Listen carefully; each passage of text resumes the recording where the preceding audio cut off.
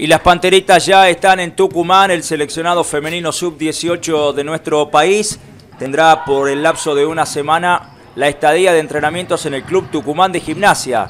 Comenzaron las prácticas con tres chicas tucumanas integrando este plantel. Nicole Pérez, Constanza Orellana y Valentina Moyano se sumaron a los entrenamientos y a la concentración del equipo argentino que se está preparando para el Mundial de la categoría a disputarse desde el 20 al 29 de septiembre en Durango, México. Ahí están las imágenes entonces de las chicas entrenándose en su estadía en Tucumán. Seguramente van a tener partidos amistosos donde los entrenadores van a ir sacando las conclusiones para los cortes finales y la integración definitiva del equipo de cara al Mundial de México.